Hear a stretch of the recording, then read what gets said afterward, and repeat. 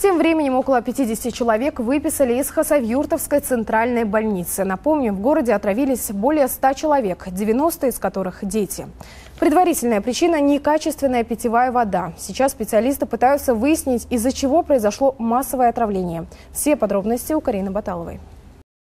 С утра вроде бы все было хорошо, а к вечеру головная боль, рвота, температура. Причина – отравление. Врачи в ожидании результатов бактериологического анализа. Лишь на его основании можно поставить клинический диагноз. Предварительный – острая кишечная инфекция. В соответствии с ним сейчас и лечат пострадавших в Центральной городской больнице Хазаверта.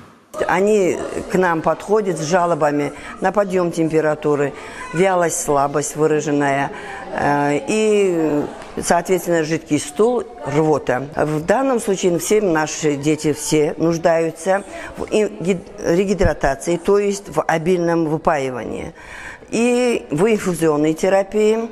Э, туда входят все солевые растворы.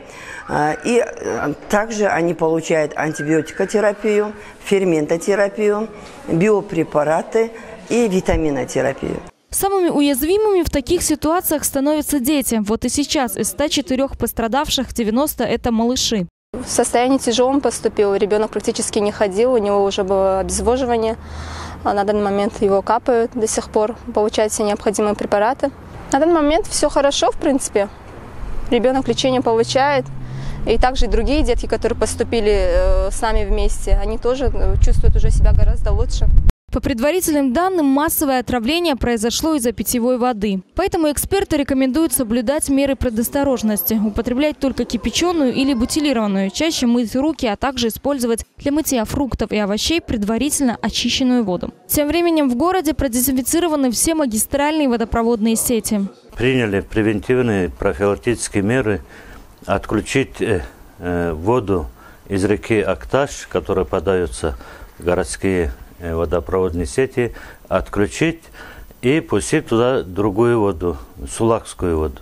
По одной из версий, загрязнение воды произошло из-за размыва скотомогильника близ села Ленин-Аул. Но в Министерстве сельского хозяйства опровергли данную информацию. Эксперты заявили, что могильник находится на приличном расстоянии от реки Акташ, да и осадков за последнее время выпало мало. А значит, остается ждать результатов проверки. Напомним, по данному факту возбуждено уголовное дело. Карина Баталова, Дауд Гасанов, телеканал ННТ, Новости 24, Хасаверт.